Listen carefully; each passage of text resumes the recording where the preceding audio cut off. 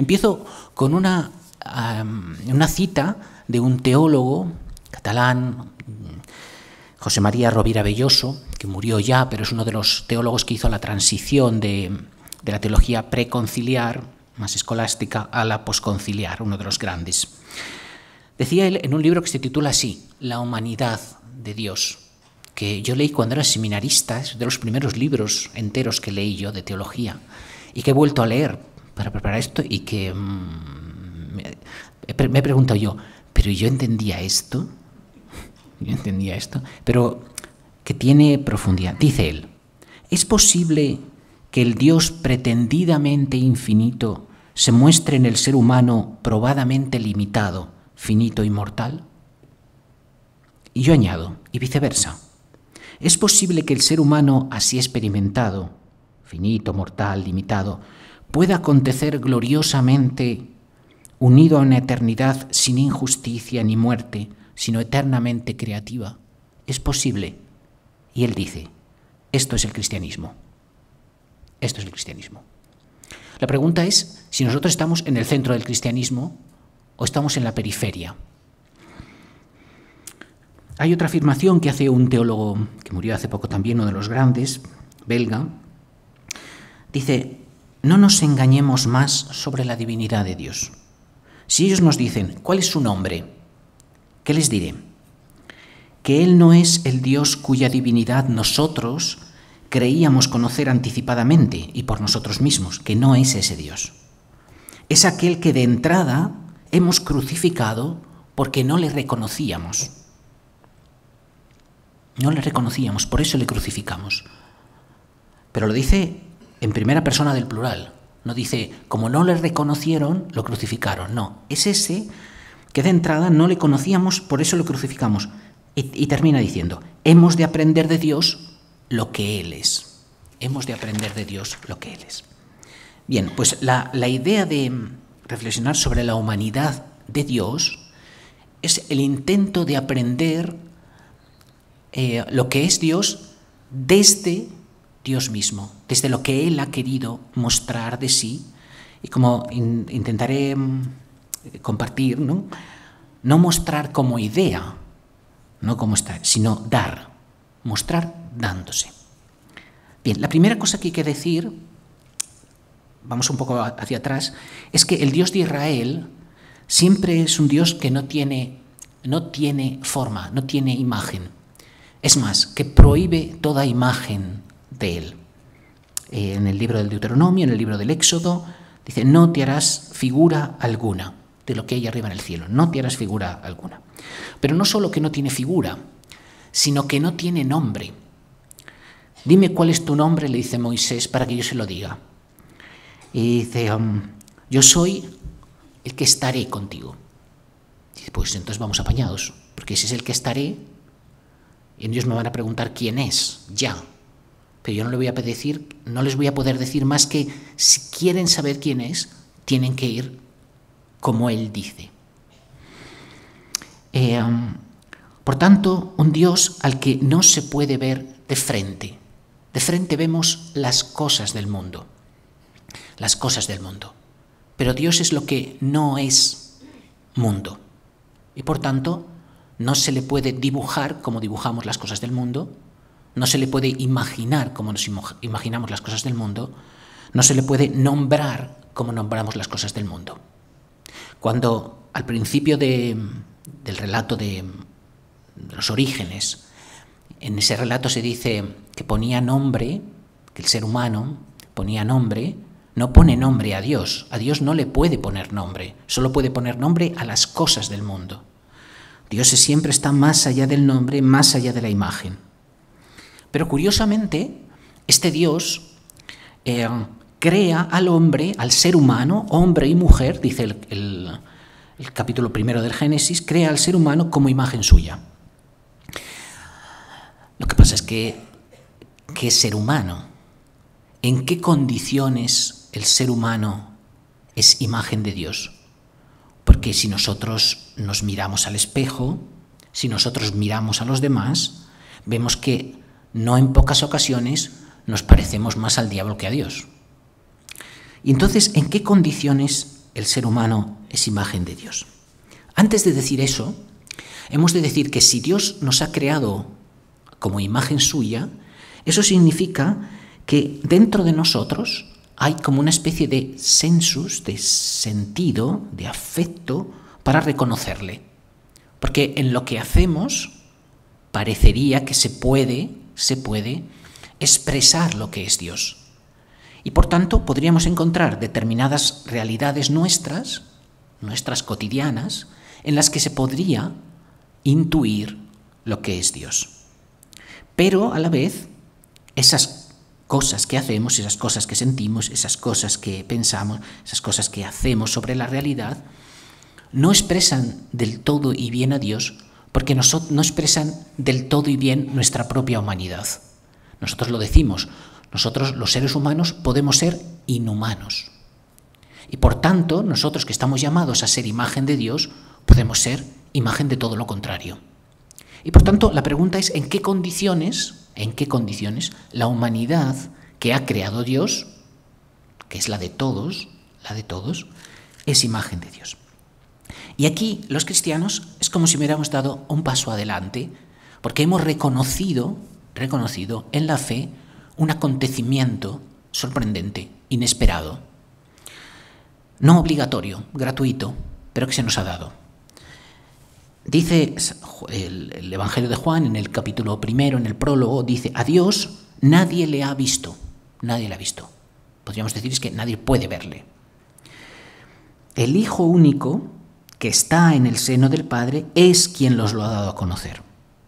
Pero problema, el Hijo único que es Dios nos lo ha dado a conocer. Pero si decimos esto es una tautología, porque si decimos Dios de Dios, ese nos lo ha dado a conocer, es como decir Dios nos lo da a conocer como Dios. No, pero esto es lo que no se puede conocer. Y por tanto aquí Juan eh, añade algo. Este que estaba en el seno de Dios se hizo carne, divino carne. Eh, um, y hemos visto en esa carne, en esa carne, hemos visto la gloria de Dios. En esa carne hemos visto la gloria de Dios. Por tanto, ya tenemos el segundo paso que complementa el primero. Si la humanidad está creada para expresar lo que es Dios, tiene que tener una condición, y esa condición es la que se ha expresado en la carne de Jesús, en la carne del Hijo, en la que no solo vemos a Dios, sino que vemos la humanidad, y cuanto más la humanidad se hace grande, se hace gloriosa, más expresa lo que es Dios sin reducirlo a un concepto. Y en este sentido, lo que nos da Jesús no es una idea sobre Dios, no nos dice lo que es Dios, no nos dice lo que es. O dicho de otra manera, en Jesús, en la humanidad de Jesús, no conocemos a Dios nocionalmente, por ideas, sino que lo conocemos relacionalmente, relacionalmente. Por eso dice Jesús mismo que no se trata de ver al Padre, no se trata de saber quién es, se trata de ir al Padre. Nadie va al Padre sino por mí. Jesús, por tanto, es imagen de Dios como un camino que nos adentra en el mismo Dios de tal manera que conocemos a Dios viviéndole, viviéndole. Pero cuando vivimos algo, no necesitamos conceptos. No necesitamos conceptos, lo vivimos. Esto es más profundo que los conceptos, más profundo que los conceptos. Y esto es lo que hace la humanidad de Cristo.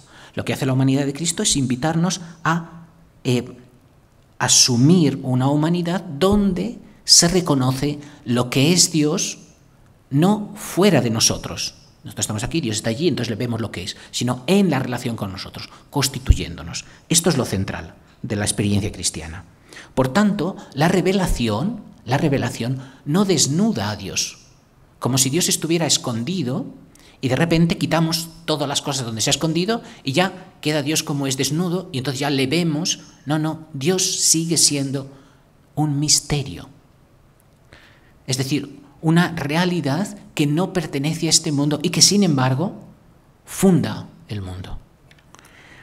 Por eso dice Jesús en un determinado momento, no refiriéndose a esto, pero yo lo utilizo refiriéndome a esto. Buscáis un signo, pero no se os dará más signo que el signo de Jonás. Lo mismo que Jonás fue un signo para los ninivitas. ¿Pero cuál era el signo de Jonás? El signo de Jonás para los ninivitas no era que estuvo en el seno de, una ballena, porque eso no lo sabían los ninivitas. El signo es la presencia de Jonás que advierte de, de parte de Dios que, que los ninivitas se pueden destruir dándoles la oportunidad de alcanzar la humanidad viva, plena, que, dada por Dios. Y este es, el, este es el, Dios real. Este es el Dios real al que, al que em, en el que nos pone, podríamos decir, Jesús. Hace poco me, enviaban un, un vídeo y ponía, Dios es real, demostrado en nueve minutos me lo mandaba alguien al que estimo. Bien, hay que decir, si demuestras a Dios, no es el Dios que nosotros confesamos. A Dios no se le demuestra. Demostrar una cosa es decir que está ahí y que está ahí con estas características. Dios no está ahí separado de nosotros nunca, nunca. Ese no es nuestro Dios. Siendo distinto de nosotros. Bien, en la representación de Dios que nos hemos hecho los humanos, eh, creyendo que éramos, creyéndolo o sin creerlo, pero de facto lo hemos hecho con la eh, idea de que estaba hecho o nosotros estábamos hechos a su imagen, hemos dado la vuelta, Dios está hecho a nuestra imagen. Y entonces hay como tres momentos. El primer momento, produciéndolo, y habría que matizar esto, pero valdría, es la mitología. En la mitología eh, se, hacen como tres escalones en el mundo.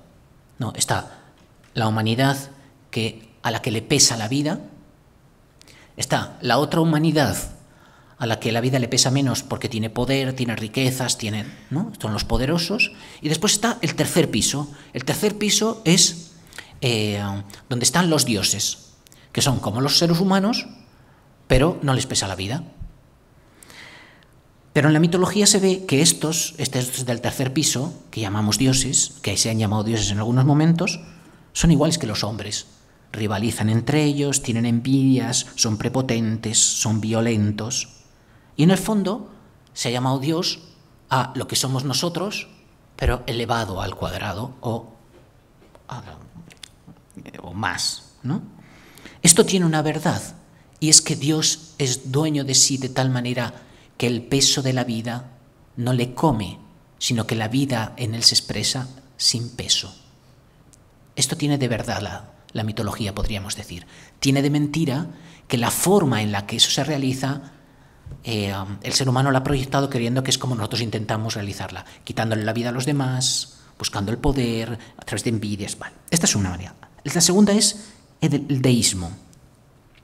Eh, nosotros decimos, bueno, está la vida, pero ¿cómo funciona la vida? Pues alguien la ha puesto en marcha y después funciona por la causalidad. Esto hace esto, esto hace esto. Entonces, decimos, vale, ¿quién ha puesto esa causalidad? ¿Y quién ha puesto en marcha todo?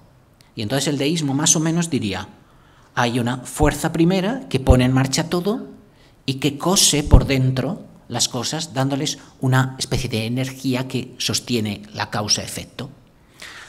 Esto es una, manera muy vulgar de explicar el deísmo, pero nos vale para, acercarnos a él. Eh, pero esto hace de Dios una parte del mundo. Es una parte más del mundo, del engranaje del mundo. ¿Qué tiene de verdad esto? Tiene verdad que Dios es creador y que Dios está presente continuamente. Pero ¿cómo es creador y cómo está presente? Esto es lo que entiende mal el deísmo. Y después está la idolatría. En la idolatría, Dios aparece como un correlato del mundo. Es el que mantendría el orden del mundo. ¿Qué orden del mundo? El que existe. Pero el que existe, ¿quién, quién ha puesto ese orden del mundo o a quién le viene bien? Fundamentalmente a los que viven bien en ese orden. Porque todos los órdenes tienen gente que vive mal. Entonces Dios sería el que justifica un orden. Eh, pero eso en el fondo es pues como el, el juez, el rey que justifica el orden donde las, hay unas leyes justas o injustas, pero que Él dice, esto es lo que yo quiero y aquí nadie se mueve. Esto es la idolatría. Eh, ¿Qué tiene de verdad la idolatría? Pues que Dios eh, no está al margen de lo que pasa en el mundo, que Dios se identifica más con unas estructuras que con otras. La cuestión es que, como voy a, intentar mostrar ahora, Dios no se identifica sin más o habitualmente con las estructuras del orden, sino que las rompe para mostrar lo que ese orden esconde. Eh, y en ese sentido, cuando la divinidad, cuando nosotros nos relacionamos con la divinidad para defender lo que somos, o lo que es nuestra sociedad, o lo que es nuestra raza, o lo que es nuestra religión, estamos tocando la idolatría. Nos estamos separando de la verdad de Dios para crear un Dios a nuestra imagen o que defienda nuestra imagen. Bien. Eh, frente a estas, a estas imágenes de Dios, ¿cuál es la imagen judeocristiana? Que ya he apuntado. Primero que Dios entra en la, en la historia eh, siempre, siempre promocionando la vida, generando vida. Podría ser esta una, eh, una característica fundamental. Pero esta generación de vida la hace eh, de manera contracultural. Contracultural. Y esto es lo que sucede en la revelación de Dios en el Éxodo. Dios escucha a los que están perdiendo la vida y entra en la historia para movilizar las fuerzas que Él ha puesto en la vida para que rompan el sistema que está oprimiendo la vida. Eh, y por tanto, aparece una paradoja, porque aparece un Dios creador, por tanto, que da vida y promotor de la vida concreta, sin embargo, este Dios no coincide con nada, con nada. Es, está en la distancia más absoluta, no se le puede ver, se le dice a Moisés. No, me puedes coger, no me puedes decir yo estoy aquí. No, no, esto no se puede. Y por tanto es una presencia continua de vida indisponible y gratuita. Presencia de vida continua, indisponible y gratuita, que está, que viene siempre de más allá de nosotros y que continuamente solo la experimentamos en nuestra historia, porque no estamos en otro sitio para experimentarla. Bien, esta, esta dinámica que se ve en toda la historia de Israel y que la fe de los israelitas eh, considera que es el, núcleo de la experiencia de, Dios, es retomada en el cristianismo, en la experiencia cristiana, por ejemplo, la carta a los hebreos, empieza la carta a los hebreos así. En muchas, muchas ocasiones y de muchas maneras habló Dios a los padres por los profetas. En esta etapa final nos ha hablado por el Hijo esta presencia generadora de vida indisponible, eh, esta se ha hecho concreta, concreta en Jesús. Uno de los que ha expresado esto de una manera mm, especialmente honda es San Juan de la Cruz cuando dice en su vida al Monte Carmelo, dice, si te tengo ya habladas todas las cosas en mi palabra, que es mi Hijo, no tengo otra cosa que te pueda revelar o responder que sea más que esto. Pon los ojos solo en Él, porque en Él lo tengo todo puesto y dicho y revelado, y hallarás en Él más de lo que pides o deseas.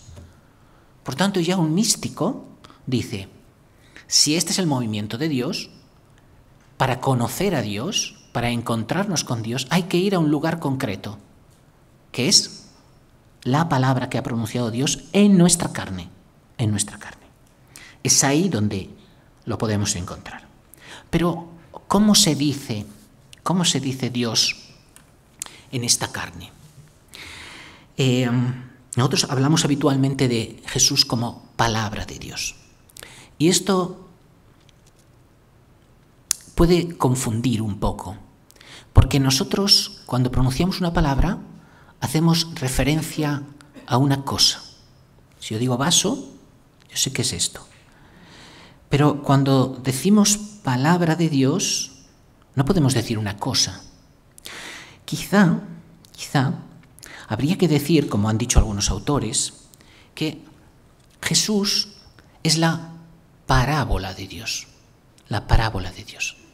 Porque Jesús no nos define las cosas, sino que con su vida nos sitúa en las cosas, haciéndolas comprender en su verdad profunda y haciendo que nosotros las habitemos alcanzando la plenitud en ella.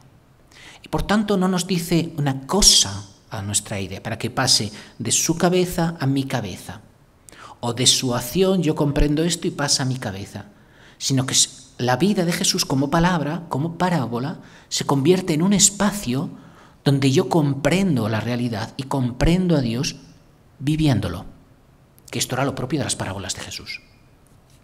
Las parábolas de Jesús, aunque nosotros las hemos interpretado como si fueran fábulas con moraleja, no son así. Lo que las parábolas de Jesús funcionan más bien como el cuento de Alicia en el País de las Maravillas. Que Alicia ve de repente algo extraño, que es un conejo corriendo con un chaleco y un reloj, le sigue y de repente, cuando está siguiendo eso, plum, cae por un agujero y se encuentra el mismo mundo de arriba, pero de manera rara.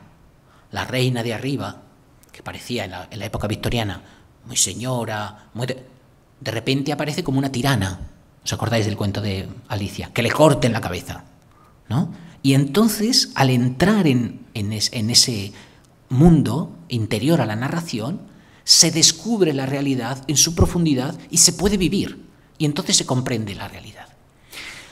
La, Jesús como palabra de Dios y como human, es Jesús como humanidad de Dios como una humanidad con la que relacionarse. No es solo un maestro que nos enseña cosas, es una humanidad para relacionarnos de tal manera que en la relación con Él y dentro de Él, nosotros nos descubramos y descubramos el misterio de Dios, sin que lo reduzcamos a nosotros. ¿Cómo se dice entonces esta palabra? Volvemos al signo de Jonás. Dios es una presencia escondida en esa carne, como era una presencia escondida en la carne de Jonás. Y entonces, ¿qué hay que hacer?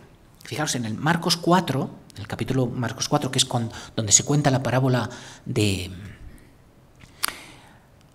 del mm, sembrador, después de la parábola del sembrador, le dicen los discípulos, explícanos la, palabra, la parábola. dice, pues si no entendéis esto, vamos dados. Pero es que las parábolas no son sencillas. Y dice Jesús, mirad, a vosotros se os ha dado a conocer el misterio del reino, pero a los de fuera todo se le cuenta en parábolas para que viendo no entiendan. ¿Qué quiere decir esto? ¿Qué quiere decir Jesús con esto? Mi interpretación es que ese a vosotros se os ha dado es a los que estáis conmigo.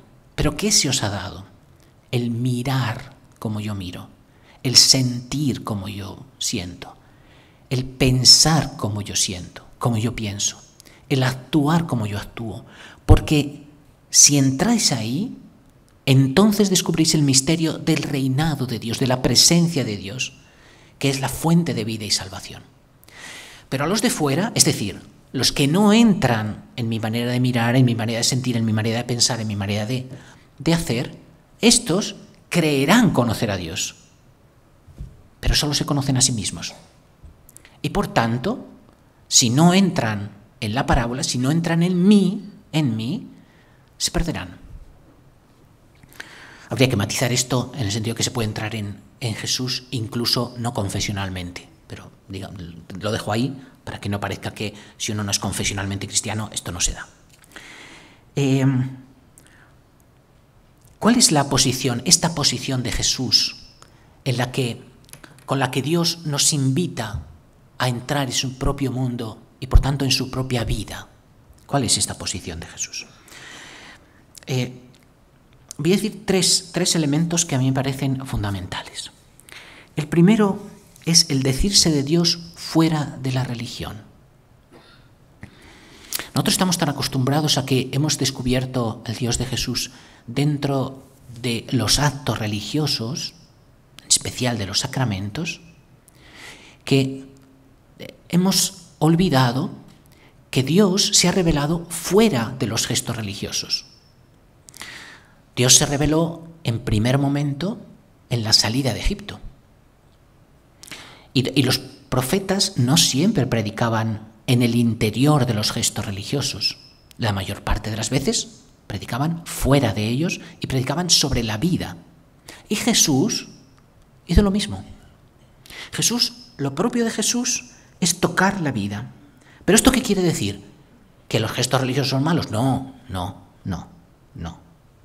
Lo que quiere decir es que el Dios que presenta Jesús, para el Dios que presenta Jesús, no hay ningún espacio que no sea todo espacio.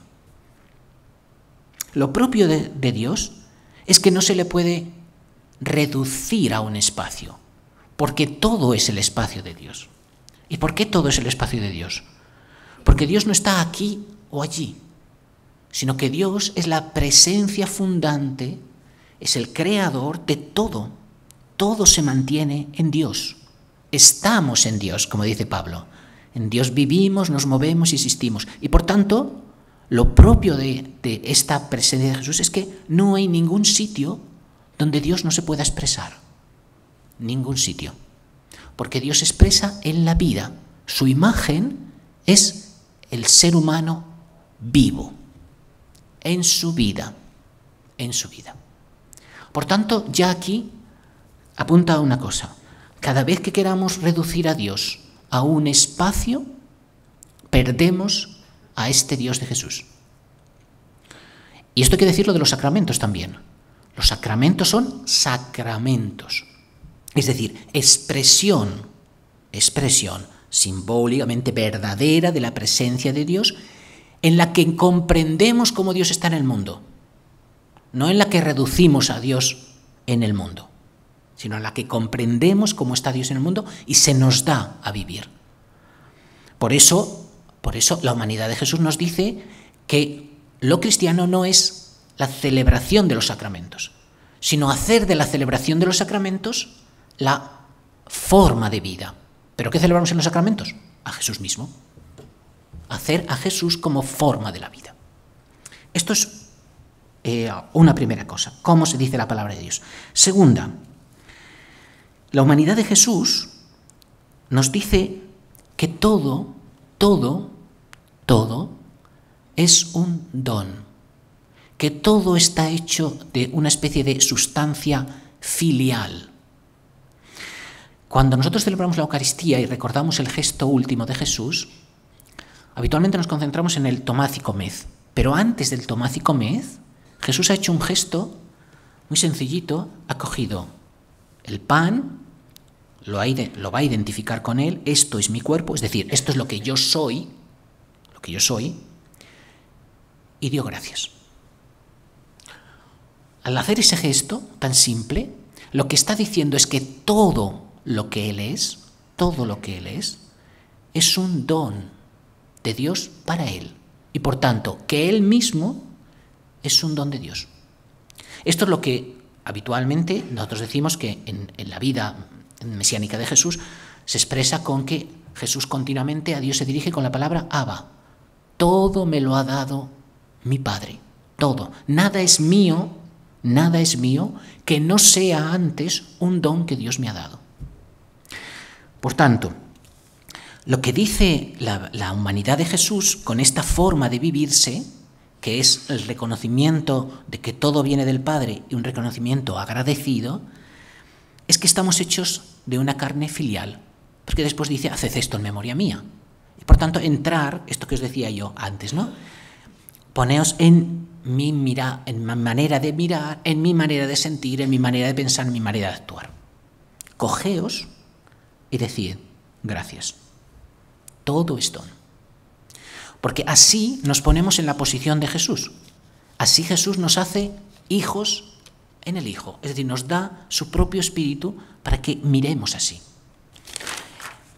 Eh, fijaros que aquí no se ve al Padre como una cosa, dice está ahí. Al Padre no lo vemos. Lo que vemos es que, en la fe, que nosotros somos sus hijos. Es decir, que nosotros somos recibidos, que nuestra vida es dada a nosotros mismos. Y por tanto reconocemos a Dios sin desvestirle, sin romper el misterio de lo que Él es. Y la tercera cosa que nos enseña, la tercera realidad que nos enseña eh, de Dios, es que la humanidad de Jesús es siempre acogedora y donativa. En Jesús se tiene lugar, se tiene lugar. No hay nadie que no tenga lugar en Jesús. Nadie. Ni siquiera los que están contra Él, como vemos en la cruz, cuando dice perdónalos porque no saben lo que hacen. Su última intercesión es el gesto por el que dice, mi vida está abierta también a ellos. Podrían venir, podrían venir.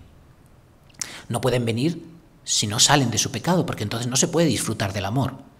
Pero yo estoy dispuesto. Por tanto, la vida de Jesús es acogedora y donativa. Toda mi vida es para vosotros. Yo estoy entre vosotros como el que sirve. Y ahí se refleja lo que es Dios. Dios que ha abierto el mundo para acoger la vida. Para acoger la vida, para acogernos a nosotros. ¿A quién es ese nosotros? Ese nosotros no tiene fuera a nadie. A nadie. A nadie. Y este, este gesto de acogida se, em, se vuelve en un gesto de donación. Justamente por eso tenemos que darnos a los demás para que esto se vea. Así Dios se hace presente. Así Dios se hace presente. Así reconocemos la vida de Dios en nosotros y así en nuestra vida, nuestra vida se hace imagen de Dios, como en Jesús. Por tanto, como veis, nosotros los cristianos no decimos que la humanidad sin más es imagen de Dios, sino que esta humanidad, la humanidad de Cristo, la humanidad de Jesús, es la humanidad imagen de Dios, una humanidad divinamente realizada. Pero esta forma de humanidad divinamente realizada es la que Jesús nos, nos eh, ofrece para que nosotros la vivamos. Y por tanto, eh, nos dice que en esta forma de vida encontramos no solo a Dios, sino encontramos nuestra humanidad plena, nuestra humanidad plena. Y esto es lo, importante porque demasiadas veces hemos distinguido entre si estoy con Dios no estoy conmigo, si estoy conmigo no estoy con Dios. Esto eh, significa que Jesús, en su vida, con su humanidad, lo que ha intentado hacer es lo que decimos en el Padre Nuestro, en la tierra como en el cielo.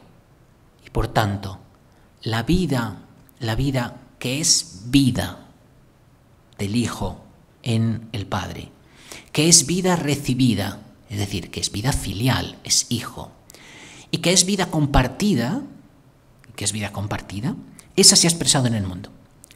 Y nosotros sabemos lo que pasa en Dios porque se ha expresado aquí. Pero después, después, eh, volvemos la frase, en el cielo como en la tierra. Lo que hemos visto en Jesús, esta vida suscitada en todo momento, esta vida acogida, esta vida acogedora y dada, esto es el cielo. Esto es el cielo. Em, por tanto, em, bueno, me iba a ir por otro lado.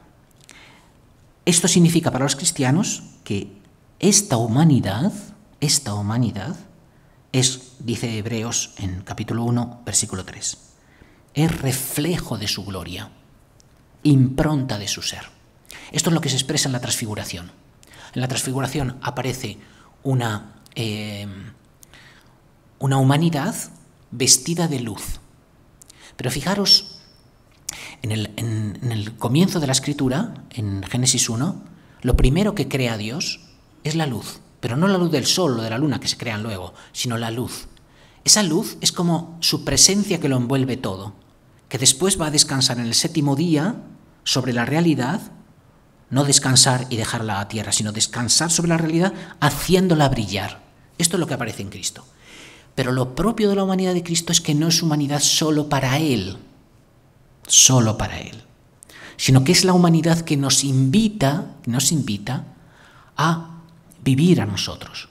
De tal manera, de tal manera que los cristianos decimos que hemos recibido el mismo ser de Cristo y que nuestra vida se hace verdadera cuando adquiere la forma, la forma de vida de la humanidad de Cristo, que es una forma absolutamente espiritual y absolutamente carnal, que no, es, no hace nada especial, nada especial, más que estar para suscitar la vida, recibirla, acogerla y darla.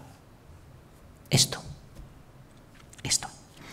Em, y esto hace que, siendo así, esto se pueda vivir incluso en condiciones contradictorias con lo que es el ser de Dios, que es la fragilidad, la, em, el sufrimiento y la muerte. Porque en estas situaciones se nos pone en el límite de lo que somos como carne filial. Somos carne que no se puede sostener a sí misma, que tiene que ser sostenida. Y por tanto, es como si para entrar en ese mundo necesitáramos pasar, pasar por nuestro nacimiento, es decir, venir de la nada a la vida, pasar por eso conscientemente. Y de lo que, se trata que aprendemos de la humanidad de Jesús como humanidad de Dios es que la fragilidad, el sufrimiento y la muerte pueden configurarse como una relación con Dios, que Dios llena de vida. Pero a la vez, esa fragilidad, ese sufrimiento, esa muerte, es una llamada, un grito para que nosotros, para que nosotros vivamos paternalmente, como buenos samaritanos es otra forma de decirlo. Es decir, para que nosotros expresemos con nuestra vida la vida de Dios, sosteniendo, dando vida, mientras la vida de Dios se expresa del todo. En este sentido, en la humanidad de Jesús, lo que se dice la visio Dei, la visión de Dios, el conocimiento de Dios, es como os decía, una, no es una visión mm, ocular, no es una visión nocional, que ahora sabemos muchas palabras, de, podemos decir esto de Dios, pam, pam, pam. No, no, no es eso. Es em, la visión que nos da vivir su propia vida. Vivir su propia vida.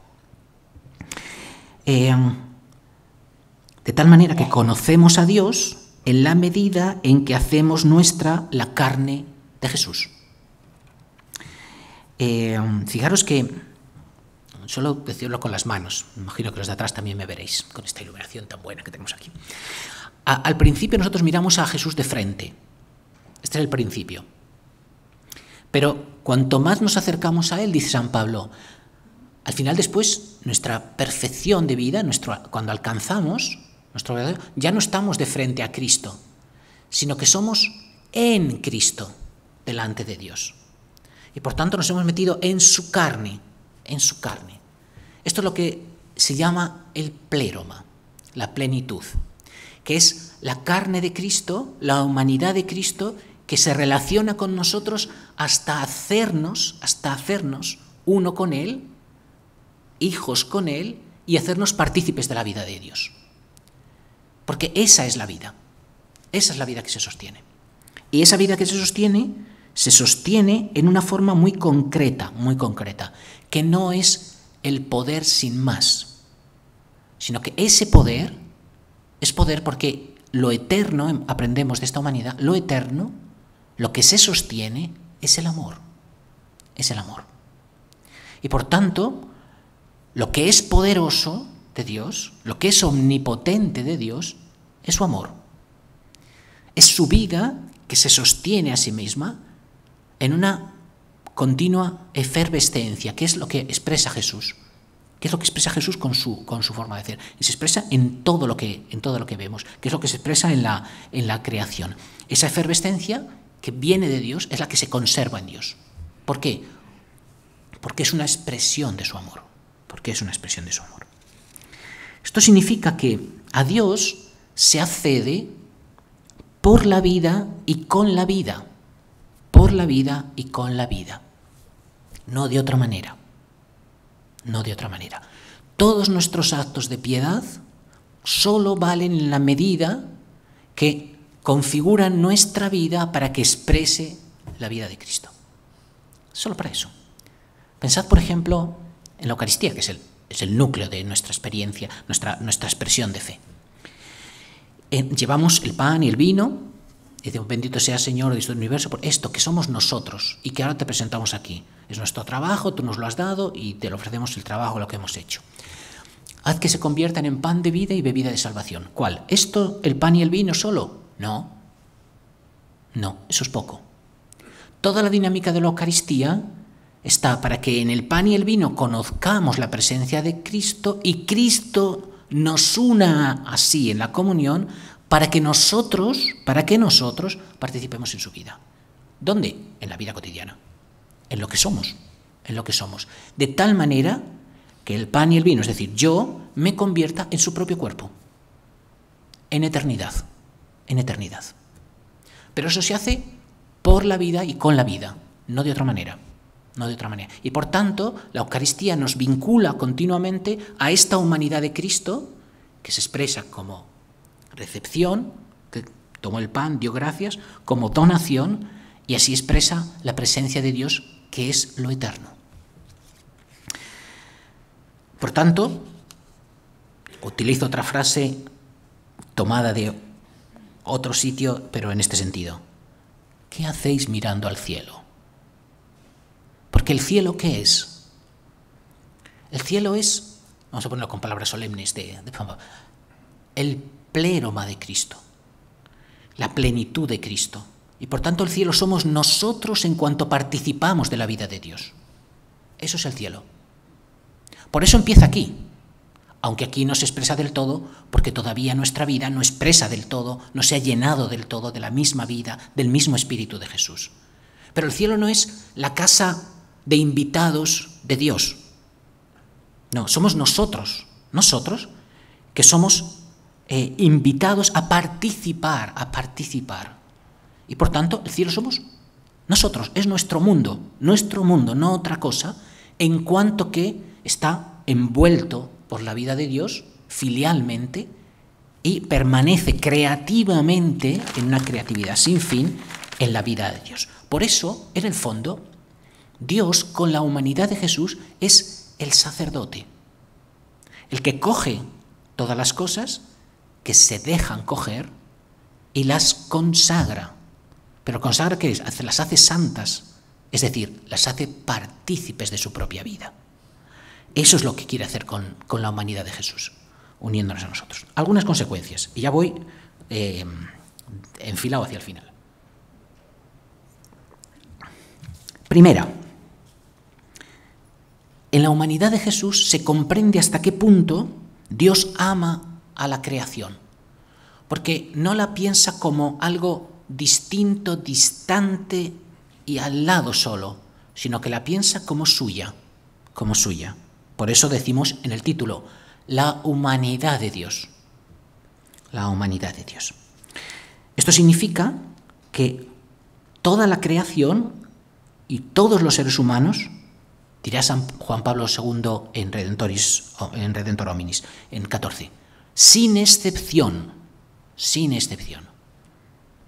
Tiene una dignidad constitutiva, porque ha sido creada para participar en la vida de Dios. Y esto nos lo dice la humanidad, en la que, como decimos, dice el concilio, con la que Dios se unió en alguna medida a todos los hombres. Dios ha convertido su propia vida, eh, perdón, Cristo el Hijo ha convertido su propia vida en pleroma, en espacio de todos. Segundo, Dios no solo hace suya la vida de la humanidad, sino que le da la capacidad de expresar su gloria. Esto es alucinante. No solo nos acoge, dice, bueno, pobrecitos, ¿qué, ¿qué van a hacer? No, nos da la capacidad de expresar su gloria. Esto que sucede en la transfiguración, visualmente, es lo que nosotros decimos que sucede en los santos. Pero que nos sucede en los santos canonizados, en los que no están canonizados, pero lo son, y los que se dejan habitar de tal manera que La humanidad de Jesús nos dice que cuando acogemos el amor recibido, por tanto nos hacemos hijos, nos hacemos hijos, no decimos que somos hijos, sino vivimos filialmente. Cuando acogemos el amor paternal de Dios dándonos, incluso si al principio somos deficientes o nuestra vida está deformada, sabemos que Dios hará su obra con nosotros, como la ha hecho con Cristo. Esto hace que Dios eh, no solo sea compañero, sino que sea acogedor nos, y, y se repose sobre nosotros, encuentre un buen lugar, un buen lugar en nuestra vida para Él. No solo es motor, sino es promotor, y no solo es bueno, es deseable, deseable. Y esta es una de las cosas que tanto nos hacen falta, que hablar de Dios como un Dios deseable. El poder de Dios aparece en su humanidad no como el poder de los hombres, sino como el poder del amor eterno y eternamente vivificante. Esto es lo que nos dice la humanidad de Jesús. la humanidad de Jesús expresa, se expresa la omnipotencia de Dios, pero no se expresa como nosotros lo esperaríamos, que nos libre de esto, que a este no le haga a este, que no, se expresa como omnipotencia del amor. De tal manera que no hay nada, nada que pueda dejar que Jesús deje de amar. Y no hay nada que haga que el amor vivido por Jesús y por tanto su vida, que es la expresión del amor de Dios, acabe con la muerte. Este es el poder de Dios. La humanidad acogedora de Jesús, Chaplero muestra que la pregunta de ¿dónde está Dios? ¿Dónde está Dios? ¿O cómo es Dios? Es una pregunta mediocre, aunque a veces la necesitemos hacer. La pregunta es un camino. ¿Dónde estamos nosotros para que Dios se nos dé? Y ese camino es Jesús para los cristianos.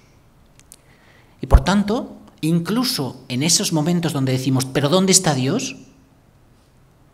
La propuesta cristiana es, ven a ese lugar donde parece que solo hay abandono, que es la cruz, y únete a Cristo. Porque se manifestará también en ti, incluso agónicamente, la omnipotencia del amor, como se manifestó en él. Este Dios concreto, y con esto termino, este Dios concreto, tan concreto como la vida concreta, en sus dinamismos más básicos, vida recibida y dada, es siempre, siempre permanece inefable. No se le puede coger, no se le puede describir. Permanece siempre como un misterio, indisponible. Y por tanto, solo se hace de él desde la fe. Solo se hace de él desde la fe. Eh, por eso dice Jesús en, en este texto que os decía de Marcos 4, a vosotros se os ha dado, a los de fuera. En el fondo, se trata de convertirse a Cristo, Convertirse a Cristo es convertirse a creer que en esa posición Dios se nos ha dado, se nos ha dado. Pero se nos ha dado para dársenos. Es decir, se nos ha dado para meternos dentro de Él y dársenos. Y en la medida que entremos en esa posición, alcanzaremos el ser de Dios sin como misterio, pero como misterio salvífico. Y nada más, muchas gracias.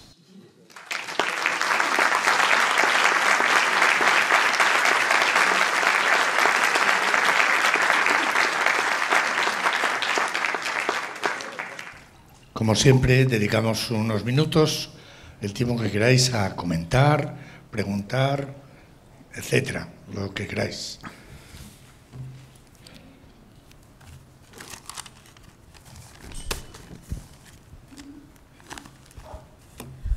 Cuando dice lo de mm, y se hizo la luz, eh, significa que se extendió el amor.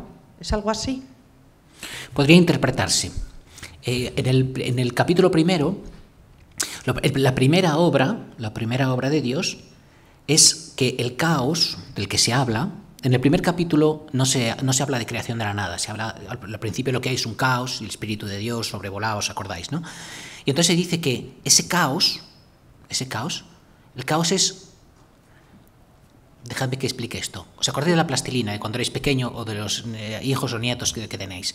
Al principio, las barras son de colores y uno va jugando con ellas. Al principio se diferencian los colores, pero a la semana es una pasta asquerosa eh, en la que ya no puedes sacar los colores, que sabes que están allí. Eso es el caos. Es la vida que no tiene armonía, que no está colocada, que no se da y se recibe respetándose en cada cosa. Bien, lo que el primer gesto de, de Dios, la primera obra de Dios, es envolverlo todo con luz. Pero esa luz, ¿qué es? Es podríamos decir, si, quiere interpretarlo así, puede, puede decirlo, es la mirada de Dios afectuosa sobre lo que todavía no es, pero ya tiene en su designio. Y por tanto, esto nos dice que todo lo que va a hacer, todo lo que va a hacer, está destinado para el séptimo día, es decir, para que Dios repose en ello. Y eso es lo que los cristianos decimos que ha pasado en Cristo. Y eso es lo que decimos que cuando nosotros estamos en Cristo pasa sobre nosotros. Y así los siete días se cumplen. ¿Mm? Iba a comentar que mm, parece como que la teología se transforma en espiritualidad, ¿no? Decía Newman, el, gran obispo, ¿no? el cardenal del siglo XIX, decía, me admiro, me admiro de que los teólogos no sean santos y de que los santos no sean teólogos.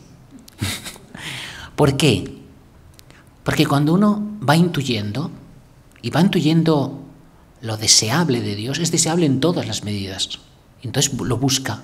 Y cuando uno lo busca, y lo han expresado algunos, eso sabe que no es solo fruto de la inteligencia, sino del deseo de Dios. Y por tanto, una de las cosas importantes en la teología es advertir cómo, incluso a veces los teólogos parece que estamos haciendo sudokus ¿no? con, con esto, pero en el fondo lo que intentamos explicar es cómo está construido el mundo para que sea verdad que Dios es amor y que todo está creado por amor para participar en el amor. Y eso es la espiritualidad. Y por tanto, si se separan, y esto ha sido una tragedia en algunos, en algunos momentos, si se separan, está muerta la espiritualidad, que termina en devocionalismos a veces con unas concepciones de Dios tremendas, o en eh, frases intelectuales que no unen a Dios, que simplemente se alegran de que oh, yo pienso a Dios. ¿no? Entonces eso no va a ninguna parte.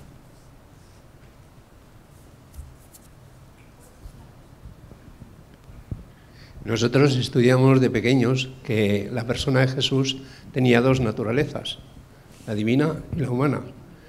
Entonces esa divina sería como un receptor respecto de Dios Padre, en el sentido de que capta muy bien. Nosotros podríamos tener también ese mismo receptor o parecido receptor que pudiéramos captar también el sentido de la palabra de Dios. Porque bueno, la expresión... Karl Porque Karl Rahner sí que va por ahí, me parece. Cuando se presenta en la escatología, él dice que somos seres espirituales con experiencia humana. No sé hasta qué punto, cómo entender eso. Sí, eh, cuando decimos que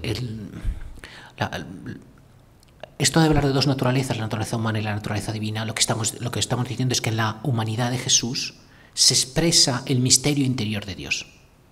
Y ese misterio interior, ¿cómo se expresa? Se expresa como filialmente. ¿no? Y por tanto, el misterio filial de Dios filial de Dios, que no sabemos describir, y lo llamamos la segunda persona de la Trinidad, ¿no? Es la que se expresa y por tanto lo que estamos hablando es de este misterio aquí, aquí. Esto es lo que he intentado decir que lo que la humanidad de Jesús no hace cosas que no sean las de su divinidad. Pero lo, lo propio de esto es que esto Dios lo ha hecho no para exhibirse, sino para incorporarnos. ¿Mm? Es decir, la humanidad no le pertenece constitutivamente, sino que la ha creado para expresarse envolviéndonos.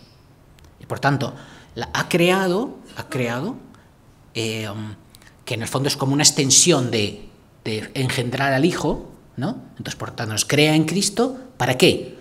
Para que, imaginaros el Sol, un planeta y el satélite. El Sol se da luz al planeta y los satélites están alrededor, nosotros seríamos estos que nos han creado en Cristo, alrededor de Cristo, para que nos unamos a Él y recibamos la, luz del, Sol, es decir, la luz de Dios mismo, participando ahí.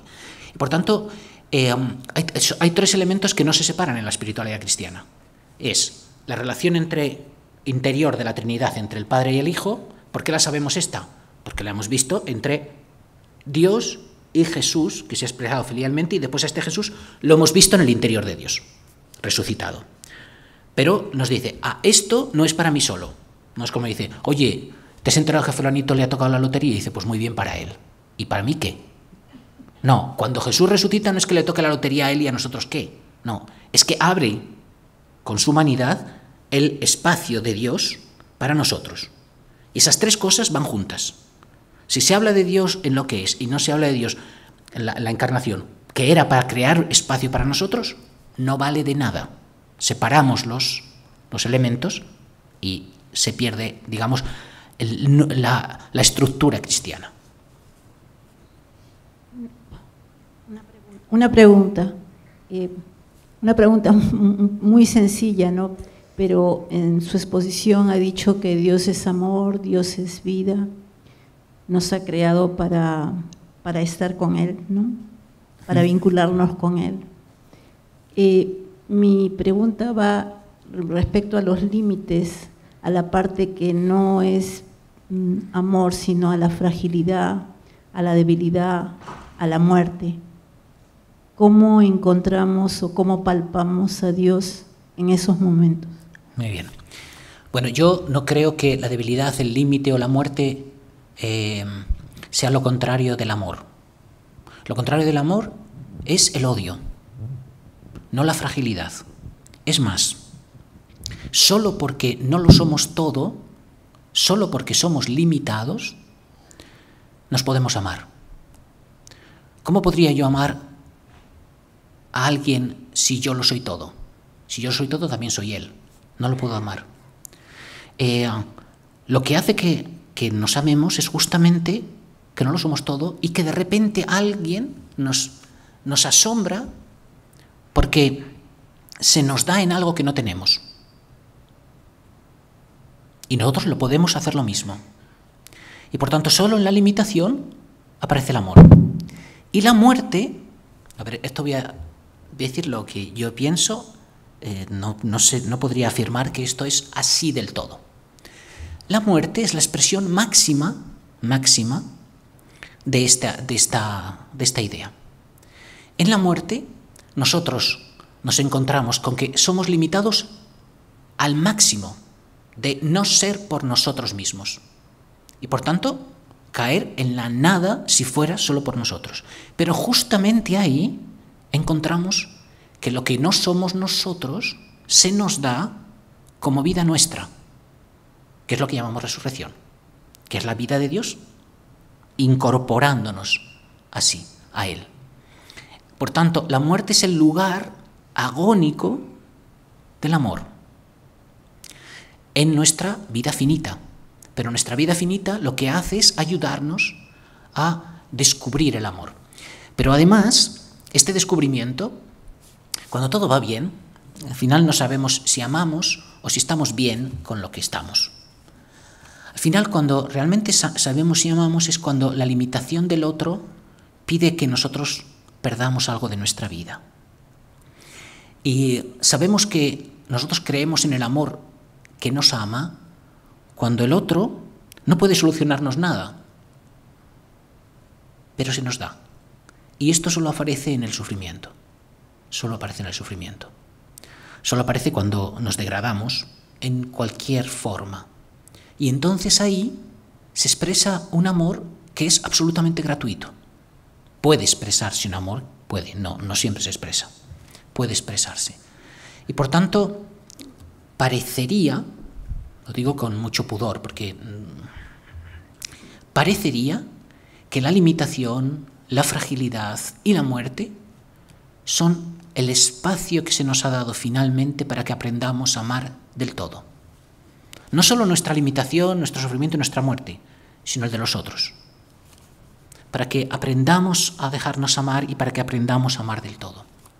Parecería, pero lo digo con pudor. Perdón, una consideración.